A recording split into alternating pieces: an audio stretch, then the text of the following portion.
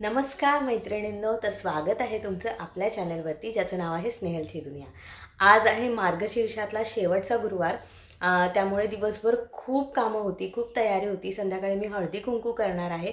तर ते त्याचीसुद्धा तयारी चा करायची अजून. पूजा माझी मांडून झाली आहे मी सकाळी लवकर उठल्यानंतरच आधी सगळ्यात आधी पूजा मांडून घेतली कथा वगैरे वाचून आरती करून घेतली. एकदा पूजा झाली की मग कसं अगदी सगळं आवरल्यासारखं वाटतं. अगदी बाकीची मग कामं होतच असतात. तर आत्ता पूजा तर झाली आहे आणि आज मी तुम्हाला सांगणार आहे एक छोटीशी गोष्ट. म्हणजे माझी एक स्टोरी ॲक्च्युली काय झालं की मी मार्गशीर्ष महिन्यातले जे हे व्रत आहे ते करत नव्हते. आणि लग्नानंतर साधारण दोन वर्ष तरी मी ते केलं नाही. त्यानंतर मी प्रेग्नंट राहिले आणि प्रेग्नन्सीमध्ये मी असं एक मनातल्या मनात आपण म्हणतो ना की एखादा नवस आपण म्हणतो एखादी इच्छा व्यक्त करतो देवीजवळ. तर मी मनातल्या मनात इच्छा व्यक्त केली होती की मला मुलगी होऊ दे तर मग मी हे व्रत करीन दरवर्षी. तर त्यानंतर सार्थक झाला मुलगा झाला आणि मग मी नाही केलं. सार्थक झाल्यानंतर एक वर्ष मी हे व्रत नाही केलं. पण सार्थक झाल्यानंतर पहिल्या वर्षी जेव्हा मार्गशीर्ष महिना आला म्हणजे त्याच्या जन्माच्या नंतरचा तर तेव्हा मला सतत अशी स्वप्न पडायची की कोणी सवाष्ण घरी आली आहे जेवायला आली आहे किंवा असं बरंच काय काय अशी असं बोलतो ना आपण सूचक स्वप्न पडायची. पण मला तेव्हा त्याचा अर्थ तितकासा कळला नाही. पण नंतर मग मी काही जाणकार लोकांना विचारलं तर तेव्हा असं लक्षात आलं. तेव्हा असं त्यांनी सांगितलं की तुमची कुठली तरी एक व्रत करण्याचं किंवा एक असं तुम्ही कुठेतरी बोलला असाल कदाचित काही इच्छा तर ते तुम्ही पूर्ण नाही केलेलं देवीचं. तर तेव्हा मला क्लिक झालं की आपण हे मार्गशीर्षाच्या व्रतासंबंधी बोललो होतो. पण त्याचं असं झालं की मी विचार केला की नाही मी तर मुलगी व्हावी म्हणून बोलले होते आणि मला तर झाला मुलगा म्हणून मी नाही केलं. पण नंतर मग मला एक दोन जणांनी सांगितलं की नाही असं नाही आहे तुला जे बाळ झालं आहे तर ते सुद्धा व्यवस्थित आरोग्य संपन्न आणि नॉर्मल असं व्यवस्थित छान सगळ्या गोष्टी झाल्यात. तर त्यामुळे तू हे व्रत कर. तर मग मी गेल्या वर्षीपासून हे करायला सुरुवात केली आहे आणि यंदाचं माझं दुसरं वर्ष आहे. गेल्या वर्षी काही कारणामुळे मला हळदी कुंकू करता आलं नव्हतं. तर यावर्षी मी पहिल्यांदाच हळदी कुंकू करणार आहे. त्यामुळे मी पण खूप एक्सायटेड आहे. खूप जास्त तामझाम नाही आहे. जवळच्याच काही पाच सहा सवाष्णींना बोलवून हे करणार आहे. आणि बघूया तयारी सुरू केली आहे. आणि स्वयंपाक पण मी आधीच करून ठेवते. म्हणजे कसं सगळ्या मैत्रिणी आल्यानंतर गप्पा मारायला वेळ मिळेल.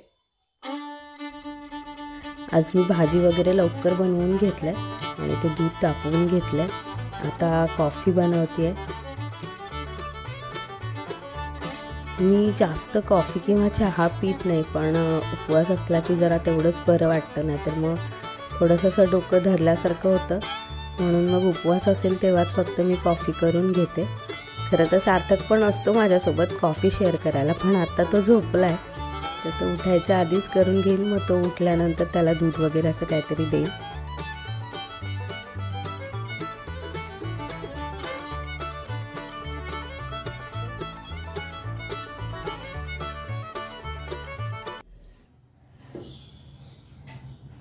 तर अशी मस्त कॉफी बनवून झाली आहे माझी. जे माझ्या चॅनलवरती नेहमी माझे व्लॉग्स बघत असतील तर त्यांना माहिती असेल की मी चहा किंवा कॉफी घेत नाही. पण आज उपवास आहे त्यामुळे मी उपवासाच्या दिवशी फक्त असं संध्याकाळी थोडी कॉफी घेते.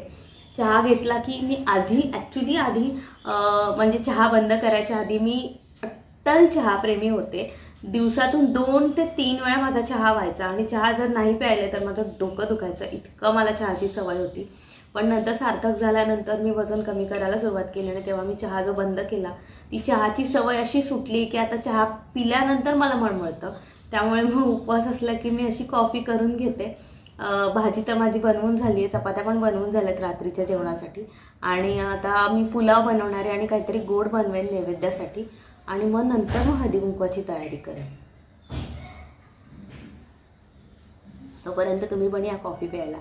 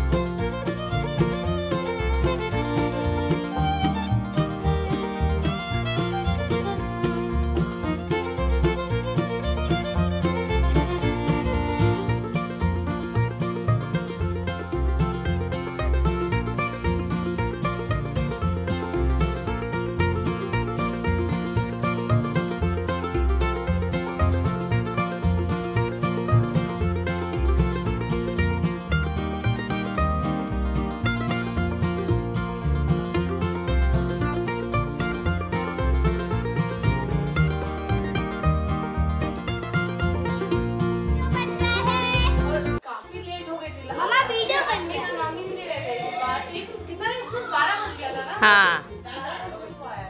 वीडियो बन रहा है।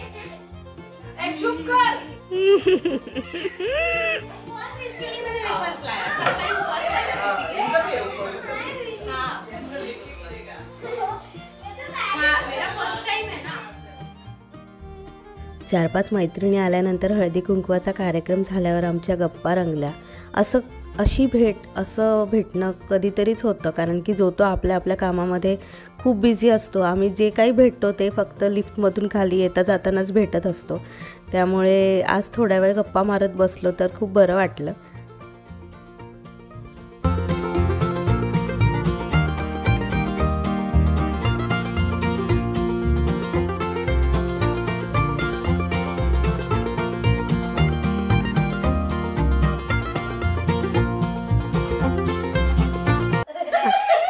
बुबू झाले. आज पहिला फ्रॉक करायचा ना असं ते पहिले ते फ्रॉक जम्पिंग ते. बिलकुल चांगलं करायचं सेम फ्रॉक सारखा करायचा. जसं तू सेम बुबू सारखा करायचा. हो ना. कसं करायचं हा दादा बुबू सारखा करायचा ना? भाऊ सारखा करायचं ना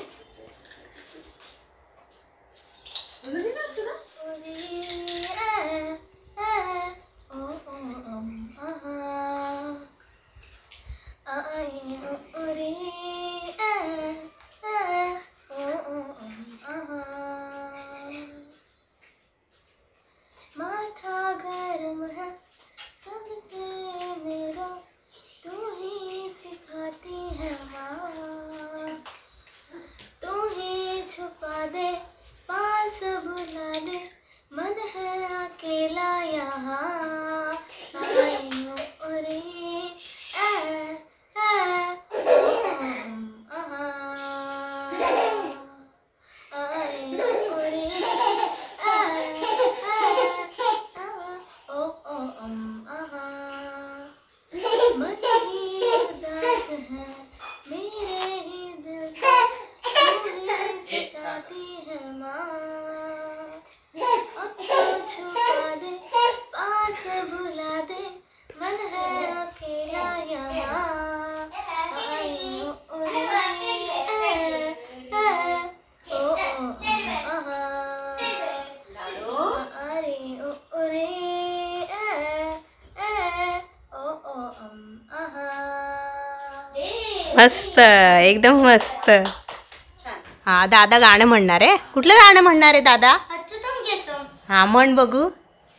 अच्युतम केशवम कृष्ण दामोदरम अच्युतम केशवम कृष्ण दामोदरम रामनारायणं जानकी वल्लभम रामनारायण जानकी वल्लभ कौन कहते हैं भगवान आते नहीं कौन कहते हैं भगवान आते नहीं झालं झालं अरे वा मस्त मस्त मस्त झालं डान्सच भारी करतो हा डान्स एक नंबर डान्स एक नंबर डान्स एक नंबर हो ना हो हळदी कुंकवाचा घरगुती कार्यक्रम तर झाला. दर गुरुवारी देवीची अशी सागर संगीत पूजा करायची. खरं तर या महिन्यात इतकी सवय झाली होती की पुढच्या गुरुवारपासून मला थोडं चुकल्या चुकल्यासारखंच वाटेल. आता हे सगळी मजा असेल पुढच्या वर्षी आणि पुढच्या मार्गशीर्ष महिन्यामध्ये. तर आजचा हा व्हिडिओ तुम्हाला कसा वाटला हे क मला कमेंट करून नक्की कळवा. व्हिडिओ आवडला असेल तर लाईक करा तुमच्या मित्रमंडळींसोबत शेअर करा आणि चॅनलवर नवीन असाल तर स्नेहलची दुनिया या आपल्या चॅनलला नक्की सबस्क्राईब करा. पुन्हा भेटूया एका नवीन व्हिडिओमध्ये. तोपर्यंत बाय बाय.